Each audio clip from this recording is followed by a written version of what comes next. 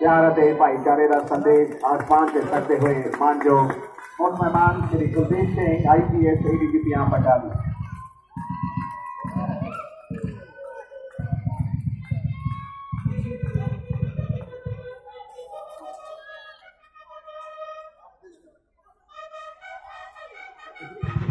हौसले हो बुलंद तो हर मुश्किल को आसान बना देंगे।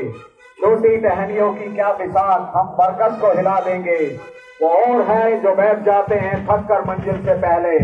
हम बुलंद हौसलों के दम पर आसमान को झुका देंगे।